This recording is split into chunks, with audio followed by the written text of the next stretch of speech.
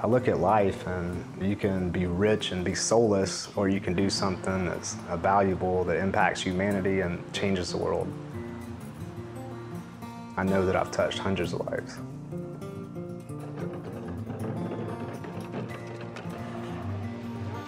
In the past three or four years, there's been an explosion of research worldwide that support the use of cannabis as a medicine and uh, provides efficacy with certain medical conditions.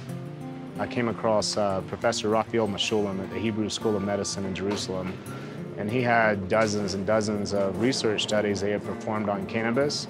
I was made aware of a particular compound in the plant called cannabidiol, known as CBD. So I immediately started going around Northern California searching for a high CBD strain.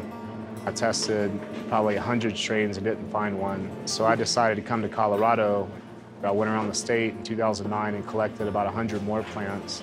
This biochemist identified one of my strains as a one-to-one CBD to THC strain.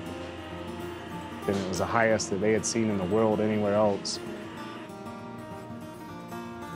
So I immediately started extracting that plant. A lot of people are using ethanol and butane and all types of solvents to extract. Uh, I designed my products for pediatric use, so what we did was designed an extractor that runs off of organic vegetable oils like safflower oil, canola, hemp oil, coconut oil. Nothing other than organic products ever touch this medicine. After a five-year process, I created a strain that the, the whole world knows as Haleigh's Hope. Four-year-old Haleigh Cox has uncontrolled epilepsy and was taking multiple medications to help control the convulsions. Those medications came with severe side effects. Haleigh's parents decided medical marijuana was the treatment that could save their daughter. But the family lived in Georgia, where medical marijuana is not legal. So Haleigh's mom, Janaea, packed up. The pair moved to Colorado, where it is legal. Dad stayed behind. And since their move a few short weeks ago, Haleigh has made remarkable progress. Jason Cranford is a botanist that now manufactures and distributes CBD oil in Colorado for medical marijuana patients like five-year-old Haleigh Cox from Georgia. Haleigh was in ICU when I met her, and uh, she was basically on her deathbed, and they had only given her a few months to live. That's why Cranford named the CBD oil strain after Haleigh. To hear your child say "mama" for the first time when you were told she was never going to talk uh, was it was absolutely amazing. It still brings tears to my eyes to hear it. In Colorado, I've had a decrease of seizures, and in Texas, I had them about every day. Uh, Alexis, hurry now! They are the reason the Bortels left Texas in February. You ever think you'll return to Texas? We pray for it every night. But they won't return without this.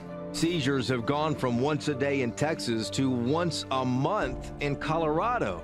Lily suffers from Dravet syndrome, a catastrophic form of epilepsy. 30 to 50.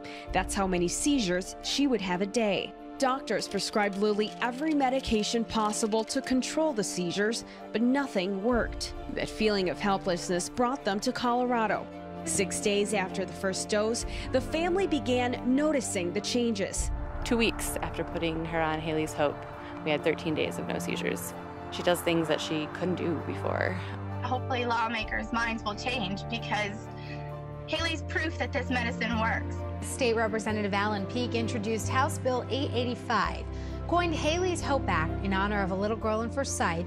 The bill aims to legalize an oil form of medical marijuana for people suffering from seizure disorders. The House passed the medical marijuana bill yesterday by a vote of 160 to 1. Georgia will be the 37th state to allow medical marijuana. Governor Nathan Deal signed Georgia's medical marijuana bill, also called Haleigh's Hope Act. Janaea Cox says she can breathe a sigh of relief.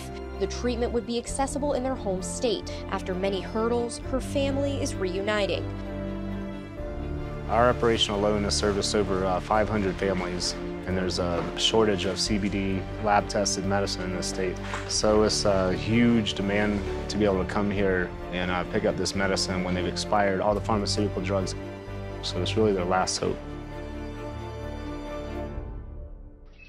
It was hard to sit there and watch her while I'd cook by flashlight, just seizing, constantly seizing.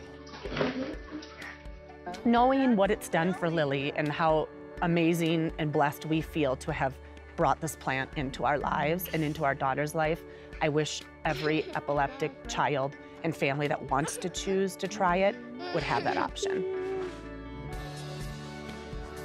You've been raised your whole life to think these were these bad plants, but I don't look at them like that. Those plants are saving my daughter's life. We're not seeing symptom reduction, we're seeing elimination. I never suspected in a million years that uh, something that I did would have an impact on so many lives. Being able to interact with the patients, that's what I do it for. When you start seeing those changes that you're making in people's lives, it's a huge impact.